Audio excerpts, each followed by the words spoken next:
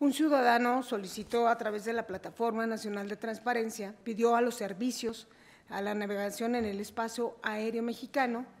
CENEAM, que llamaremos sujeto obligado, la entrega de información de cuántos incidentes aéreos se han reportado, de acuerdo a su estadística,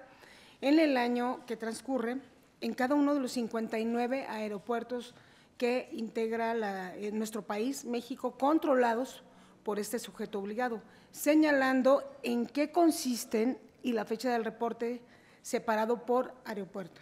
En su respuesta, eh, los servicios a la navegación en el espacio aéreo mexicano me manifestaron que la información es pública y que se encuentra disponible en la Plataforma Nacional de Transparencia. En ese sentido, proporcionó la fuente, el lugar y la forma para consultar la información requerida. El solicitante impugnó desde luego la respuesta y señaló como agravio la entrega de información no corresponde a lo que él había solicitado. La solicitud que se está requiriendo se ordena buscarla porque no es posible que no se cuente con ella, porque entonces ahí estaría peor el asunto que ni siquiera tienen este tipo de controles.